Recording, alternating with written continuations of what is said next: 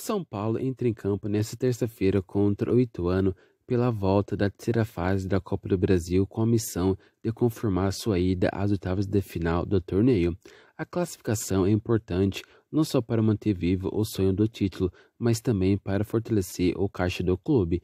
Caso confirme o seu favoritismo e se classifique para as oitavas de final da Copa do Brasil, o São Paulo vai ganhar 3,3 milhões de premiação da CBF, entidade que organiza o torneio.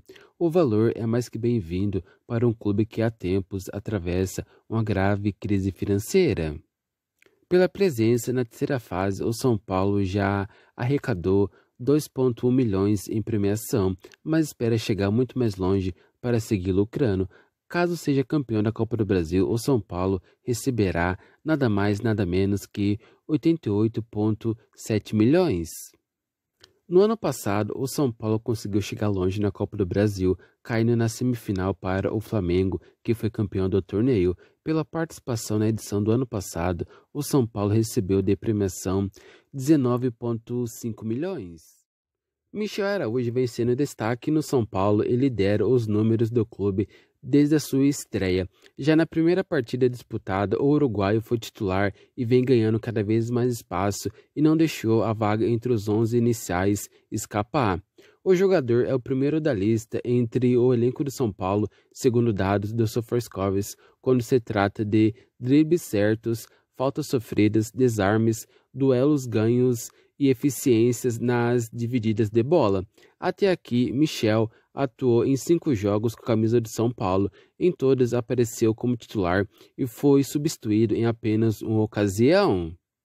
Em sua estreia na vitória sobre o Tigre pela Copa Sul-Americana, ele foi escalado por Ceni na ala esquerda e rendeu bons números. Na partida seguinte, foi lateral esquerdo no empate com o Ituano pela Copa do Brasil. Entretanto, nos últimos jogos, o jogador voltou à sua posição de origem.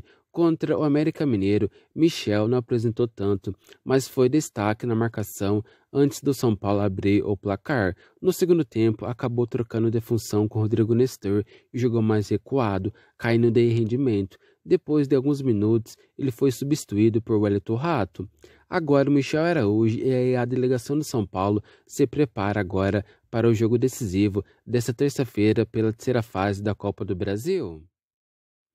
O coordenador de futebol de São Paulo, Muricy Ramalho, voltou aos trabalhos no Estrela Barra Funda na última segunda. Ele acompanhou o treino da equipe principal, que no sábado venceu o América Mineiro por 3 a 0. Muricy tinha se afastado do dia a dia do clube para cuidar de problemas de saúde, uma situação que ele não considerava grave. Aos 67 anos, Muricy Ramalho assumiu o atual cargo no início da gestão do presidente Júlio Casares. Ele dá experiência no CT, mas não viaja com a delegação para jogos fora de casa, um cuidado iniciado durante o período mais grave da pandemia do coronavírus e que se manteve. Antes de voltar à Barra Funda, Muricy conversou com o técnico Dorival Júnior, que assumiu o comando da equipe na última sexta, após a saída de Rogério Ceni. No espaço de um mês, Marcos Paulo mudou a trajetória com a camisa de São Paulo. Em 16 de março, o jogador foi pivô de um atrito com o antigo técnico Rogério Ceni em cobrança considerada acima do tom que transcendeu os muros do Estrela Barra Funda. Em 18 de abril, o jogador fez o primeiro gol pelo São Paulo e embalou outra sequência para fechar a vitória sobre o América Mineiro. Na noite do último sábado, Marcos Paulo entrou no fim da partida e mostrou-se ligado para antecipar o passe errado de Ricardo Silva e Blançazedes do time mineiro no duelo pela segunda rodada do Brasileirão. Foi o segundo gol do meio atacante com pouco mais de 20 minutos em campo pelo São Paulo. Antes do duelo de sábado, Marcos Paulo também atuou por alguns minutos diante do Porto Cabelo da Venezuela e foi responsável pela reação de um time que parecia sem respostas na partida que terminou marcada pela despedida do técnico Rogério Ceni. O gol anotado abriu a vitória por 2 a 0 sobre os venezuelanos pela segunda rodada da Copa Sul-Americana.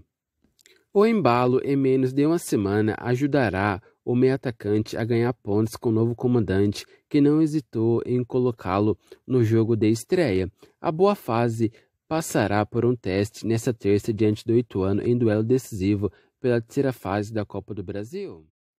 Galopo começou na última segunda-feira no Refis Plus o processo de recuperação da cirurgia no joelho esquerdo, a qual foi submetido no mês passado na Argentina para reparar uma ruptura no ligamento cruzado anterior.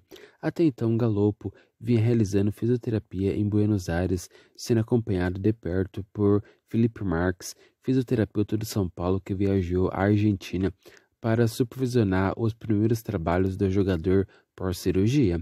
A expectativa é que o jogador volte a ficar à disposição apenas na reta final da temporada por ser tratado em uma lesão grave. O tempo de recuperação é de, no mínimo, seis meses. Galopo teve sua trajetória no São Paulo interrompida justamente quando vivia sua melhor fase no clube. O meia, inclusive, ainda é o principal goleador da equipe na temporada com oito gols e compartilhou a artilharia do Paulistão com Roger Guedes do Corinthians. Contratado no meio do ano passado, Galopo soma 32 jogos pelo São Paulo com nove gols e duas assistências.